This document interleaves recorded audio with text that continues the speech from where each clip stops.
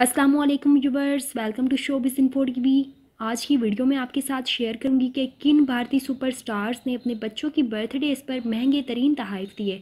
तो इस खबर की मज़ीद तफसीत को जानने के लिए इस वीडियो को विदाउट स्किप किए एंड तक ज़रूर देखिएगा। और इस वीडियो को देखने से पहले अगर आपने मेरे चैनल को सब्सक्राइब नहीं किया तो मेरे चैनल को सब्सक्राइब करें और बेल आइकन को ज़रूर प्रेस करें ताकि आपको मेरी लेटेस्ट वीडियोज़ के नोटिफिकेशन टाइम पर मिलते रहें।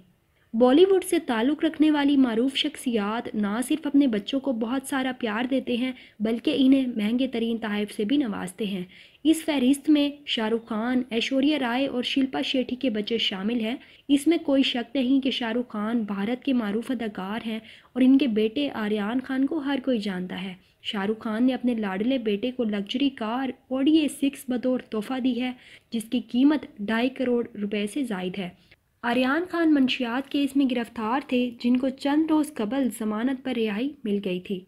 अदाकार अभिषेक बच्चन और उनकी अहलिया अदाकारा ऐश्वर्या राय की बेटी आराधिया अक्सर तस्वीर में अपने वालदेन के हमरा नज़र आती हैं। मद्दा आराधिया का मुआसना ऐश्वर्या राय के बचपन से करते हैं। आराधिया की पहली सालगिरह पर वालदेन ने बेटी को दुनिया भर में मकबूल छोटी कार मिनी कूपर तोहफे में दी। वालदेन ने आराधिया को मुस्तकबिल में छुट्टियाँ गुजारने के लिए दुबई में चौवन करोड़ रुपए का घर भी तोहफे में दे रखा है। यही नहीं, बल्कि आराधिया के पास ओडीए एट कार भी मौजूद है। अदाकारा शिल्पा शेट्टी और उनके शोहर राज कुंद्रा भारत समेत दीगर ममालिक में प्रॉपर्टीज़ के मालिक हैं। दुनिया के दीगर वालदेन की तरह ये दोनों भी अपने बच्चों वयान और समेशा से बेहद मोहब्बत करते हैं।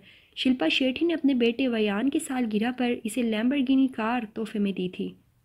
सो so, ये थी आज की शोबिस की ताज़ा तरीन अपडेट शोबिस इंडस्ट्री के रिलेटेड मज़ीद खबरों को जानने के लिए इस वीडियो को ज़्यादा से ज़्यादा लाइक करें शेयर करें अपनी फ्रेंड्स और फैमिली के साथ और इस तरह की मज़ीद वीडियोस को देखने के लिए मेरे चैनल को सब्सक्राइब करें।